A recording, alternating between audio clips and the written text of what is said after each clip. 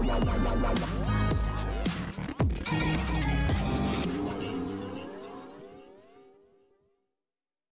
गुम है किसी के प्यार की कहानी जो चल रही है, उस ट्रैक के अकॉर्डिंग अगर हम इस स्टोरी लाइन को फॉलो करें तो बहुत जल्द सही ये घर छोड़कर जाने वाली है। जी हाँ बिल्कुल ठीक सुना आपने, अब तक तो सही।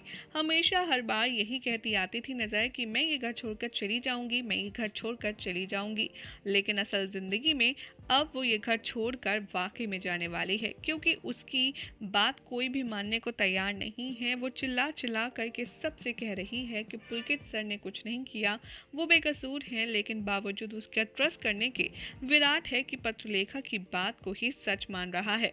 सही बहुत ही ज़्यादा इरिटेट हो जाएगी और वो विराट को ये कहकर घर छोड़कर जाती हुई नज़र आएगी कि जब मेरे घर में कोई मानता ही नहीं है तो मैं इस घर में रुककर क्या करूँगी?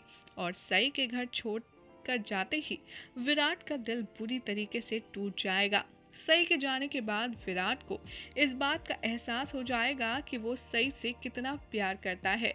ऐसे में विराट बुरी तरह से टूटकर बिखर जाएगा क्योंकि उसे हर जगह सिर्फ़ और सिर्फ़ सही से कही हुई बातें सही के साथ गुजारे हुए पर नज़र आएँगे। पल पल उसे सही की याद सताने लग जाएगी और अपनी हालत को खुद देखकर। विराट को इस बात पर यकीन हो जाएगा कि वो अब पत्र लेखा से नहीं, बल्कि सिर्फ़ और सिर्फ़ सही से मोहब्बत करता है। ऐसे में ये देखना होगा काफ़ी इंटरेस्टिंग कि जब विराट को अपनी ही फीलिंग्स के बारे में पता चल जाएगा, तब कैसे लाएगा विराट? सही को मना करके अपने घर और जब घर ले आएगा, तब क्या अपने दिल की बात सही से कह पाएगा? और सही को भला कब होगा? विराट के साथ प्यार का एहसास जो सबको दिख रहा है, इन दोनों को कब दिखेगा एक दूसरे के दिल में, एक दूसरे की आँखों में? ये सब कुछ आने वाली कहानी में देखना होगा।